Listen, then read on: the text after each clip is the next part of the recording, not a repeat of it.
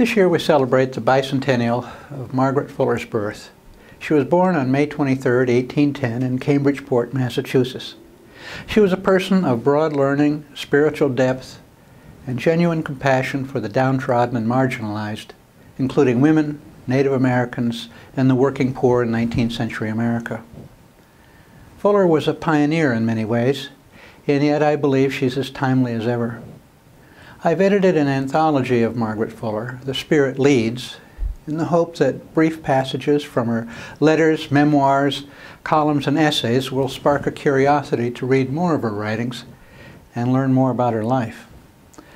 By any measure, Fuller was a remarkable person, religious radical, avant-garde cultural critic, feminist, progressive social theorist, investigative journalist, war correspondent, and public intellectual. She was a central figure in the Transcendentalist movement that included Ralph Waldo Emerson and many other close friends. And it could be said that she applied her Transcendentalist ideals to an active engagement with social change here in America and political revolution abroad. There are few readers today who are familiar with her writings even a groundbreaking feminist manifesto, Woman in the 19th Century.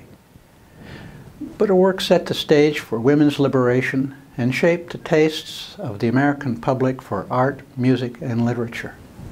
In many respects, we have yet to catch up to her radical views on women, culture, and religion.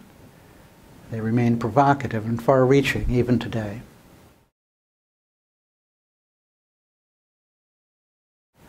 Margaret Fuller was nothing if not aspiring. In everything she applied herself to, writing, editing, education, social reform, and her own self-creation, she aspired to grow and develop. This is what she wanted for herself, for others, for literature and art, and for her country. Extraordinary generous seeking, a phrase taken from the writings of Goethe, her literary hero, was her chosen motto.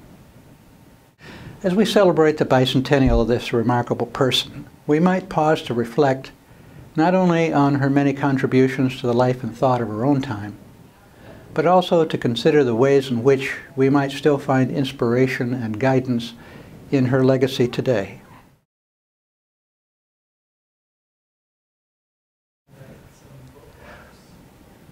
Fuller shared in the spirituality of the Transcendentalists. Like Emerson, Thoreau, and the others, she was a religious seeker of the spiritual left. But she carried that viewpoint into a wider sphere of engagement and application than many of her Transcendentalist contemporaries. These causes included women's rights, the plight of Native Americans, immigrants, and the poor in America, and political revolution abroad. Like her, we might consider the ways in which our own spirituality, which owes so much to the transcendentalists in our movement, might inform and influence our actions today. There's no better place to begin than reading and reflecting on the thoughts of Margaret Fuller.